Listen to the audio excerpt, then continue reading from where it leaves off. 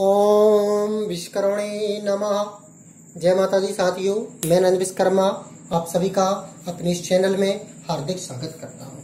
आज मैं आपको बताऊँगा वसु कौन थी तो जैसे कि आपको पता है, भगवान ब्रह्मा जी के मानस पुत्र थे, दक्ष प्रजापति। जिनकी साठ पुत्रियाँ थी, कोई भी पुत्र नहीं था। जिनकी प्रथम सबसे बड़ी पुत्री थी सती। कौन थी सती। माता सती का विवाह है, भगवान शिव जी के साथ हुआ था। किसके साथ हुआ था? भगवान शिव जी के साथ। अब दक्ष प्रजापति की जो द्वितीय पुत्री थी, वह थी बसु। बसु की शादी भगवान धर्मवंशी विश्वकर्मा जी के साथ हुई थी। आपने यहाँ तक की जो स्टोरी जो मैंने आपको बताई है, ये आपने सीरियलों में देखी होगी, किताबों में पढ़ी होगी। लेकिन जो मैं आपको जानकारी बता रहा हूँ, यह शायद किसी को थी। कुछ, किस, ऐसा नहीं कह सकते किसी को नहीं थी। अधिकांश लोगों को नहीं थी।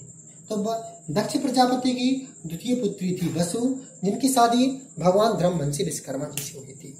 वसु से, वसु धर्मवंशी विश्वकर्मा और माता वसु के आठ पुत्र हुए थे। आठवें पुत्र थे आपके प्रभास विश्वकर्मा जी। अब प्रभास विश्वकर्मा जी कौन थे? तो भगवान आदि पुरुष आदि पुरुष है संसार के कर्ता धरता विराट विश्वकर्मा जी ने जब भगवान मानव रूप में उतार लिया था तो भगवान विश्वकर्मा के रूप में उतार लिया था। भगवान विश्वकर्मा जी के पिता थे प्रभास विश्वकर्मा। और प्रभास विश्वकर्मा जी कौन थे? धर्मवंशी विश्वकर्मा और माता बसु के आठवें पुत्र थे। इसलिए इन्हें अष्टम बसु भी कहा जाता है। इन्हें क्या कहा जाता है? अष्टम बसु क्योंकि माता बसु के आठवें पुत्र थे। धर्मवंशी विश्वकर्मा भगवान शिव जी के साणु भाई थे।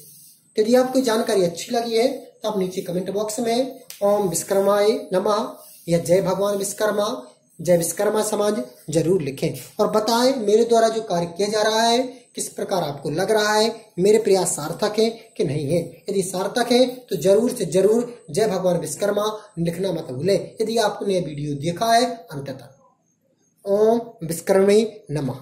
जय माता दी साथियों।